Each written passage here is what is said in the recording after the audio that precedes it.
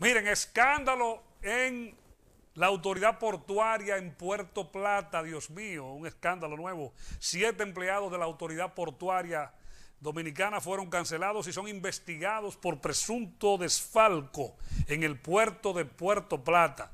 Entre los desvinculados figuran el encargado de la sección de comprobación y liquidación, el supervisor general, el tarjador, el encargado de caja, así como el, el encargado de depósito.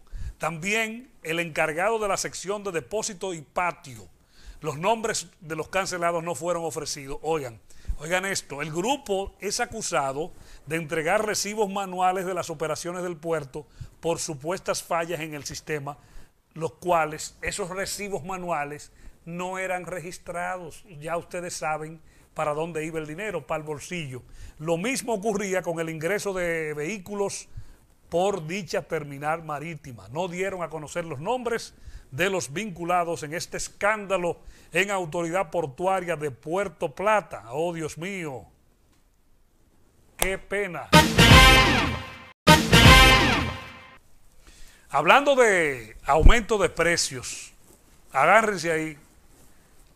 ¿Quiénes han hablado en el día de hoy? La Asociación de Embutidores del Cibao, los fabricantes de embutidos, salami, salchichas, hot dog, carnes para hamburger, etcétera, etcétera. Han informado hoy que a partir del próximo 1 de junio, o sea, un día de estos, los precios de todos los productos de embutidos aumentarán un 12% como mínimo, de un 12 en adelante debido al incremento del costo de las materias primas. Lo que hablaba con Neudi. Con Neudi, nuestro amigo que nos llamó, analista, y le dijimos que las materias primas están subiendo a nivel mundial. Y esos productos tienen materia prima importada, incluso los conservantes.